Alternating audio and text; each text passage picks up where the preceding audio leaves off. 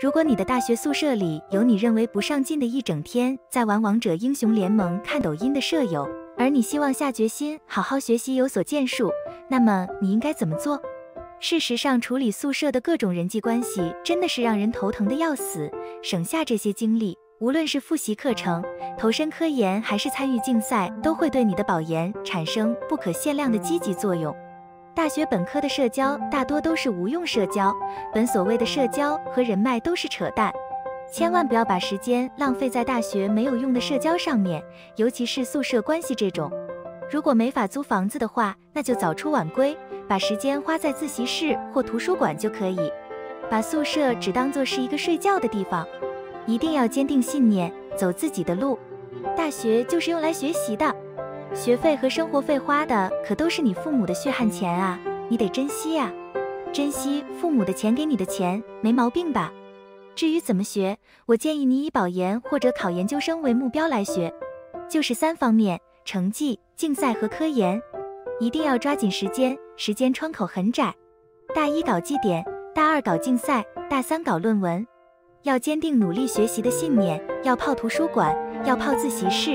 要下大力气啃课本，多跟导师和成绩好的同学交流，多跟有学校里真正表现优异的人交流。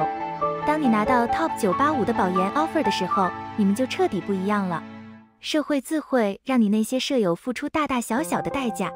有些人注定是分母，那作为分子的我们没必要太关心分母是怎么想的，并且也不对他们的生活指手画脚、品头论足。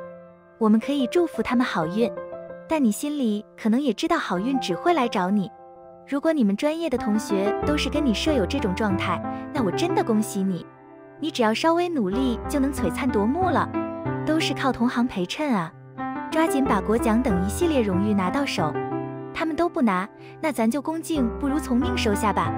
可以把你你认为的那些不上进的舍友统一归为 loser。loser 的话能听吗？loser 干什么重要吗？loser 还有资格评价你？我们都不是同一个层级的人，只不过是大学期间碰巧遇到了而已。每次出去上自习或者是上自习回来，昂首挺胸藐视他们的感觉。其次就是尽快摆脱这样的环境。古人说，君子不立围墙之下。宿舍这种环境非常糟的，惹不起咱就躲得远远的，不要让他们影响到你。索性就搬出去住。人是容易受环境影响的。千万不要向你认为的不上进室友靠拢。大学坚持好好学习，必定是有好处的。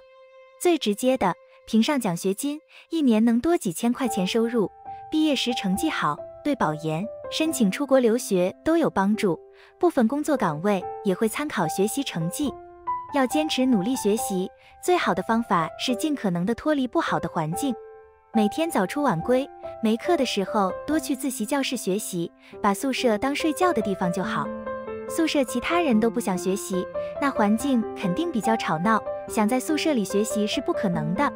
这种情况下，室友关系可能不会很亲密，但也没有必要弄得很僵，毕竟每天还是要生活在一起的。部分室友可能会嘲讽你和很爱学习之类的。那么你完全没必要把他们的话当回事，更没必要去反驳或者发生冲突，完全可以顺着他的话说，开句玩笑，没办法，家里穷，不拿奖学金过不下去了之类的。其实偶尔出言讥讽的室友也知道努力学习的好处，只不过自己没有这毅力，只能拉人下水，求个心理平衡。我个人是没见过因为努力学习导致同学矛盾的，大部分中国学生受了那么多年教育。成年懂事后，对学习好的人心底还是挺佩服的。从实际利益讲，寝室有人认真学习，平时作业也有地方抄，不是吗？但是考试不帮助同学作弊的底线一定要守住。不管是抄别人还是给别人抄，都是考试作弊，这个性质是很严重的，是可以给处分的，对奖学金评比和考研都可能产生一票否决的作用。千万不要太讲哥们义气。最后，只要你想学，就应该到合适的场地和环境去认真学习，调整自己的态度，而不是以埋怨所谓不上进的一整天在玩王者英雄联盟、看抖音的舍友。